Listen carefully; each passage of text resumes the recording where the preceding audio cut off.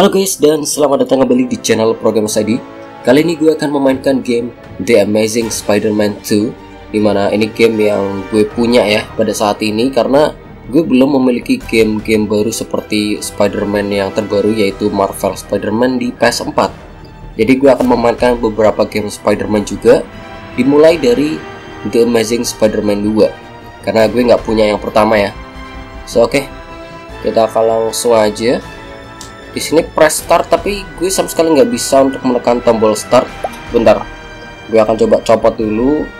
Karena game ini bener-bener ini gue mainnya di PC dan versi PC nya bener-bener banyak sekali beberapa bug dan juga ada beberapa glitch yang membuat gamenya agak sedikit frame drop ya.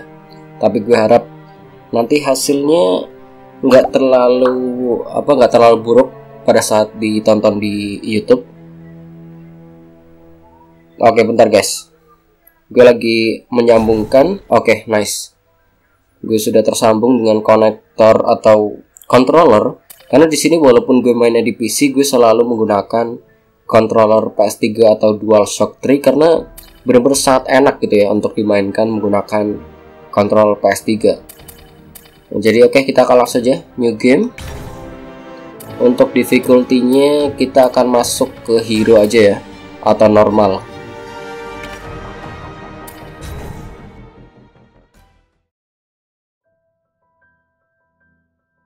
Ya sebenarnya di Android juga ada game apa namanya The Amazing Spider-Man tapi benar-benar berbeda ya dari segi grafis dan juga yang lainnya. Storynya kayaknya juga beda deh. Jadi ini adalah yang versi PC bukanlah yang versi Android. Karena namanya benar-benar sama The Amazing Spider-Man 2. Tapi yang versi Android itu nggak sebagus ini ya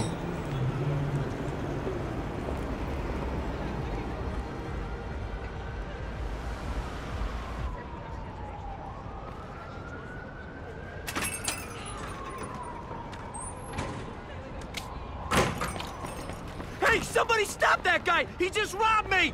Hey, kid, a little help? Not my problem.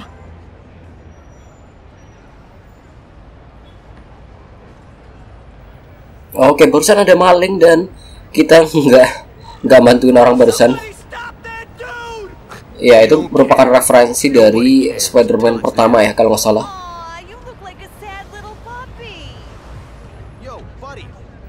Oke, so far sih gue mainnya fine-fine aja sama sekali belum ada beberapa bug ataupun frame drop ya pada game ini.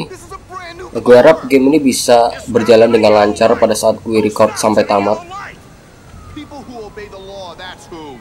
Grafisnya juga nggak jelek-jelek banget sih. Oh shit, gue dengar ada suara tembakan. Kita lihat ada yang tertembak di situ. Aduh, Uncle Ben. Paman kita, coy.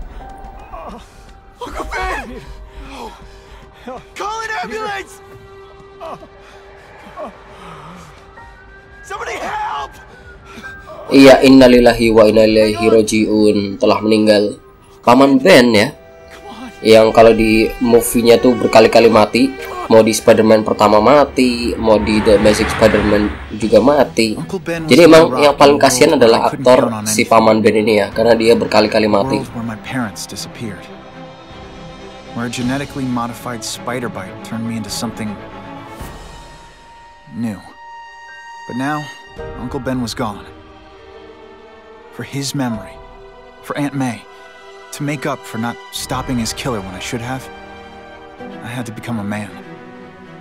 Spider-Man.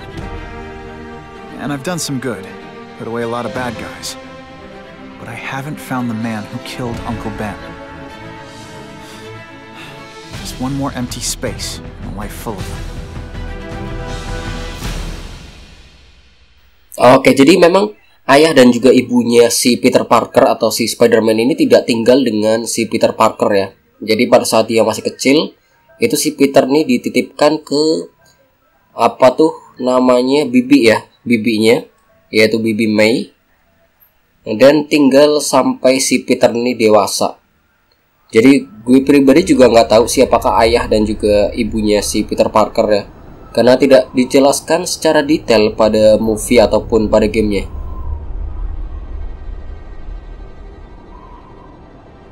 The man who killed Uncle Ben is out there somewhere. And I will find him. Two years later atau dua tahun setelah kematian paman Ben dan Spider-Man sama sekali belum menemukan siapakah yang membunuh pamannya ya. Jadi tadi itu kita baru mendengar suara tembakan dan juga tubuh dari si paman Ben. Tapi kita sama sekali tidak mengetahui informasi apa pun siapakah yang membunuh dan di manakah lokasinya ya. Padahal ini udah dua tahun coy. Polisinya juga kayaknya gaji buta ya, tidak bekerja pada game ini. Ya, di awal-awal seperti biasa ada beberapa tutorial. Jadi ketika kalian pengen swing menggunakan tangan kanan, kalian gunakan L2. Kalau swing pakai tangan eh sorry, tangan kiri pakai L2, tangan kanan pakai R2. Oke, jadi berbeda dengan game-game Spider-Man yang lain yang biasanya cuman kalau di PS2 ya, itu kalian tinggal menekan tombol R2 aja. Tapi kalau di sini kalian harus menekan tombol L2 juga agar bisa swing menggunakan tangan kiri. Oke, kita langsung aja menuju ke objektifnya ya, tanpa banyak bacot lagi. So far sih berjalan dengan sangat baik ya, frame rate-nya juga. Di sini kalau kalian apa mengaktifkan fishing jadi pada suatu game kalau kalian memainkan di PC ada yang namanya settingan fishing dan kalau kalian mengaktifkan fishing pada game ini maka gamenya akan di lock di 30 fps tapi lebih lebih ini loh lebih smooth tapi kalau kalian menonaktifkan maka kalian bisa berjalan di 60 fps tapi frame rate nya kacau jadi lebih baik kalian memainkan game ini di 30 fps ya karena 30 fps juga di PC cukup cukup lumayan bagus sih. I set this gig up. That makes me the boss and you the hired help. So shut up and put some effort into it. Ringleader looks like the guy who killed Uncle Ben. Oke, okay, open kamera. Kita memiliki kamera ya, karena pekerjaannya si Peter Parker adalah apa fotografer. Ya, sepertinya dia bukanlah seseorang yang membunuh si paman Ben. Anjir, dari atas tiba-tiba muncul besi kayak gitu ya. Nggak jelas banget. Oh, ada Catwoman. Iya, itu Catwoman kan ya? Kita akan coba ketahui nanti ya. Tiba-tiba dia menyerang kita dari atas kayak gitu, anjir. Oke, di sini untuk mekanisme combatnya ya, atau combat sistemnya itu benar-benar sama seperti game-game Batman entah itu Batman Arkham Origin atau Arkham Knight ya ini benar-benar sama untuk dodgingnya juga sangat mudah sekali tinggal, tinggal menekan tombol segitiga gue suka nih game-game Spider-Man kayak gini ya. Itulah kenapa game Marvel Spider-Man yang sekarang yang di PS4 juga memiliki combat yang kayak gini. Tapi ini kameranya benar-benar kayaknya deketan deh. Bentar guys. Kameranya bisa gue ganti nggak sih? Nggak bisa. Adanya kamera inversion ini apa nih? Oh ini gerakan ya gerakan kameranya gue nggak bisa ngejauhin apa namanya kameranya ini kameranya benar-benar terlalu kedekatan ya pada saat combat kayak gini Oke, okay, nice. Itu gerakannya Rey Mysterio tuh barusan.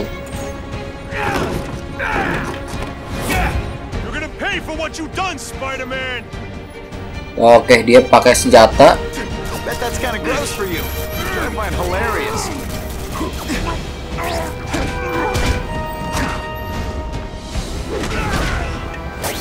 Oke, okay, ada signature move atau serangan terakhir kayak gitu ya, kayak semacam special attack.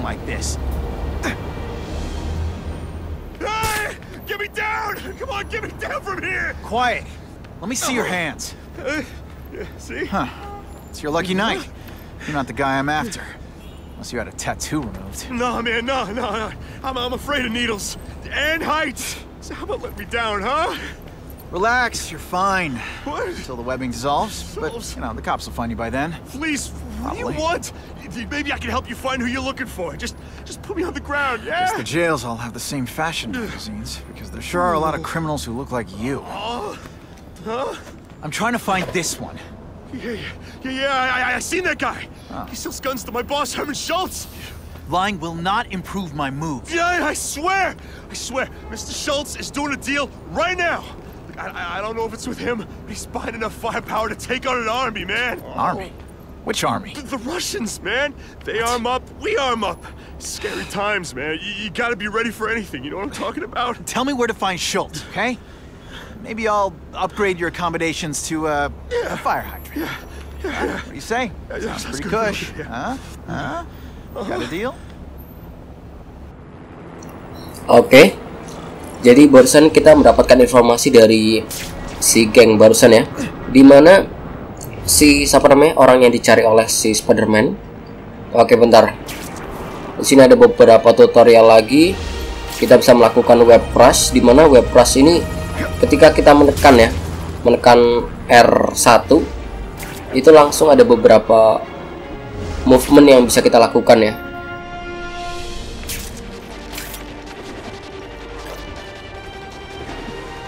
Oke, emang di sini bener-bener kameranya terlalu deket sih menurut gue. That Dan kayaknya nggak bisa gue ganti deh, bentar. Gue cek tombol-tombol.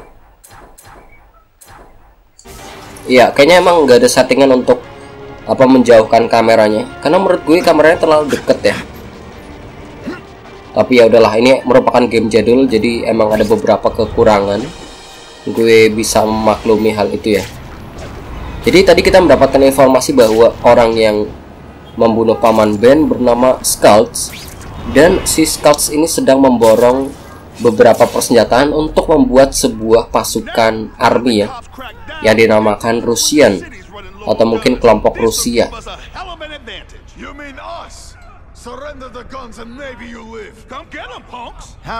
Oke, kayaknya isi dari kotak-kotak itu adalah senjata yang dibeli oleh si Scouts ya. Ya, di sini kita bisa menggunakan Spider Sense untuk menemukan kotak-kotak yang kita cari. Itu dia. Kotak-kotak berisi persenjataan yang sudah dibeli oleh si Scouts. Oke, sekarang kita bisa langsung melakukan kayak semacam serangan dadakan gitu ya.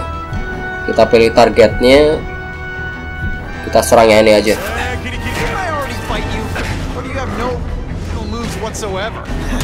Ya, game Spider-Man itu apa ya? Gue yang suka adalah pada saat kita melakukan dodging ya. Iya, itu kan animasi dodgingnya itu loh ditambah dengan slow motion yang bikin gamenya lebih intens. Resume because you're terrible at this.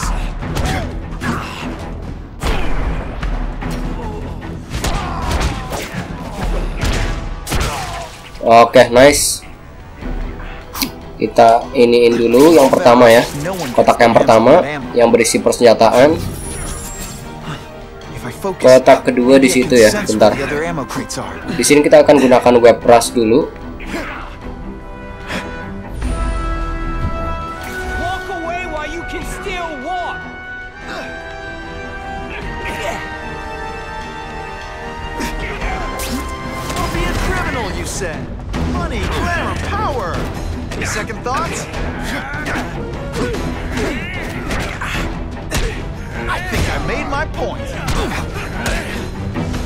Oke. Nice. Iya, satu lagi. Iya, kita akan simpan dulu yang kedua, kotak kedua. Sekarang kita cari yang ketiga. Itu dia di sana.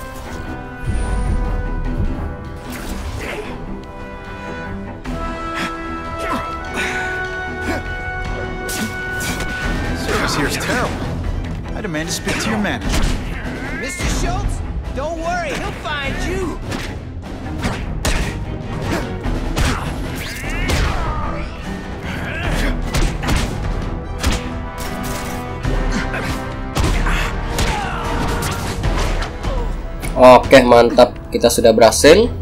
Sekarang kita tinggal. Ya, sudah secure semua.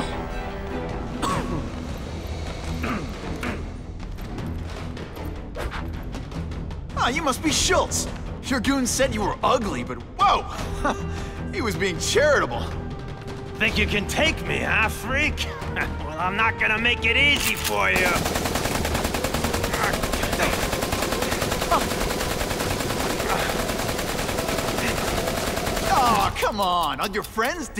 Oke, ini dia.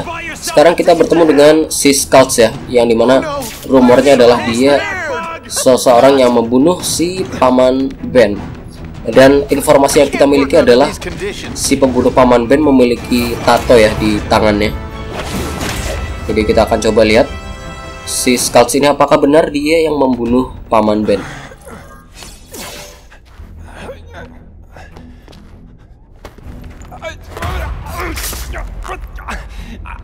Begging you, man. Look, don't kill me like the others.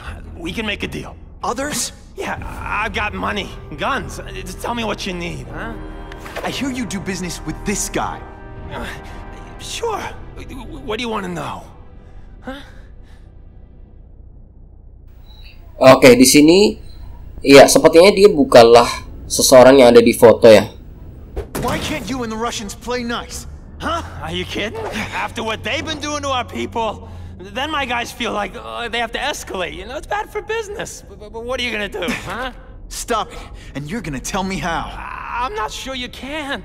You ask me, uh, it's gonna get a lot worse before it gets better, huh? Iya, di sini kita diberikan pilihan. Barusan gue milih yang Tell Me About the Gang War.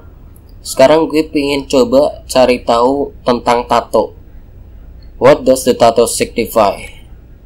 Apakah tato ini menandakan sebuah kelompok atau bukan? Uh, It's a gang thing. There aren't any gangs using that symbol. We- Only a few people have it. Uh, means he's a specialist.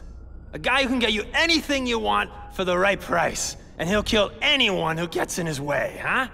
Yeah. I already knew that. Oke, ternyata bener.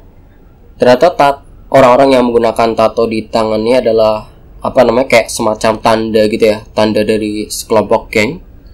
Sekarang kita akan coba identify. Bentar, ini gue tadi udah milih yang ini. Sekarang gue pilih yang ini nih, identify. Who's the man in the picture? Huh? I, I, I, Carradine. Oh, ternyata dia kenal. was his real name, huh? Dia kenal dengan seseorang yang ada di, ada di foto yaitu background checks. Where do you Karadin namanya. it's different each time. You put the word out, you want to make a deal, he calls. Always on a disposable cell phone. I, he's a real paranoid fella, you know? Yeah, yeah, yeah. I, yeah, he must have a guilty conscience. I, uh, uh, come on, we got a deal? Oke, sepertinya kita sudah mendapatkan informasi yang cukup ya. Kita akan langsung aja finish conversation. Jadi ternyata yang membunuh Paman Ben adalah seseorang yang bernama in Karadin. Okay, goes by Carradine. I think I got his latest number here in my phone. Wait, don't- Anjir, dia bisa kabur dong. Iya, ternyata dia pintar juga. Bisa kayak gitu. Punya bom asap ya, udah kayak Shinobi. Oke, intinya di sini kita sudah mendapatkan informasi yaitu si pembunuh dari paman Ben adalah seseorang apa namanya pengedar senjata ya kalau nggak salah yang bernama Karadin.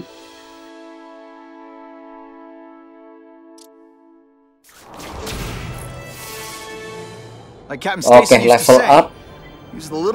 Ada level-level juga ya di sini ya. Udah kayak game RPG you have just increased the effectiveness level of Spider-Man suit by beating thugs and completing mission. Spidey gains XP for the suit he is currently wearing. Jadi di sini ada beberapa kostum yang bisa kalian pakai dan di setiap kos- kostum itu ada kayak semacam ability yang bisa kalian pakai. Jadi setiap kostum itu memiliki ability yang berbeda-beda dan bisa kalian naikin ability-nya menggunakan apa namanya dengan menyelesaikan beberapa misi ya.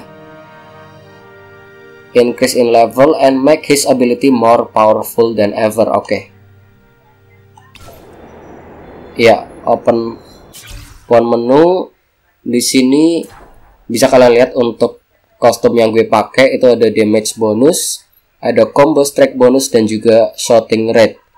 Tapi kalau kalian mengganti kostumnya maka akan berbeda untuk ability-nya. Mungkin nanti gue akan coba ganti ke kostum yang lain ya. Di sini gue bisa upgrade. Ya mungkin gue nggak perlu untuk upgrade sekarang karena duit gue juga cuman 1250 poin doang. Gue akan simpen dulu aja oke okay, find the communication tower. Okay, how hard can this be? jadi di sini setiap kostum itu memiliki ability ya berbeda dengan game-game Spider-Man lainnya yang di mana ketika kalian menggunakan kostum itu ability-nya tetap sama. Tapi kalau kalian ingin apa meningkatkan skill itu cuma ada satu yaitu di setiap apa di satu kostum itu cuma ada satu skill tapi kalau ini enggak. Jadi cukup menarik ya detailnya pada game ini. Bahkan setiap kostum dikasih ability yang lain. Supaya player ini diberikan pilihan ya. Kita pengen pakai ability yang mana? oke di sini ada tiga tower. Dan kita harus memasang apa sebuah alat ya pada tower ini agar kita bisa mendapatkan informasi pada saat ada ancaman di kota ini Oke, kita pasang di tower yang pertama. Atau apa sih antena ya lebih tepatnya.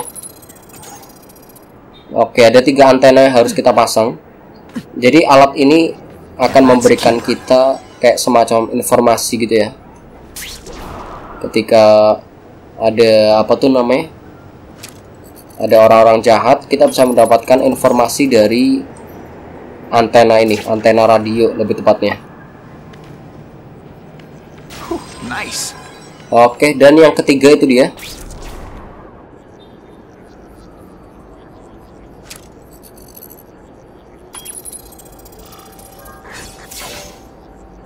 Oke, okay, Alphabet City. Talk to me. Iya, dan sekarang kita bisa mengakses kota ya. Jadi ada map di sini dan bisa kalian lihat. Jadi setelah kalian apa mengaktifkan radio tower atau antena seperti barusan, kita langsung mendapatkan ini guys, ada beberapa hal yang bisa kita ketahui di area ini. Yaitu ada kejahatan nih, langsung ketahuan. Karena kita sekarang memiliki radio tower ya, di mana kita bisa mendapatkan informasi. Ya, di sini ada beberapa kayak semacam side mission atau side objective. Kita bisa menolong warga yang sedang kesulitan. Oke, okay, heroic action will appear now and then in the city. Jadi di sini ini tergantung kalian. Kalian bisa apa cuekin untuk misi-misi ini atau kalian bisa menjalankannya. Dan itu akan berpengaruh ke apa nih namanya? Ke mana sih tadi di map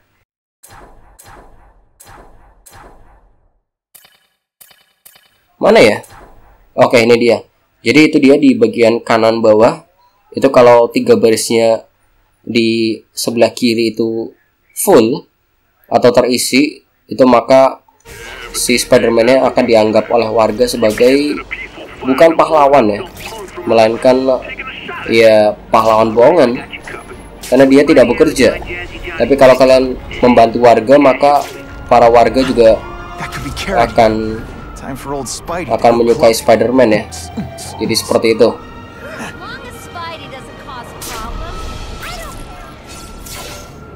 Nah, oke, ini kayak semacam apa namanya kita harus menolong warga lagi di sini. Jadi ini kayak semacam tutorial sih lebih tepatnya, masih misi-misi tutorial.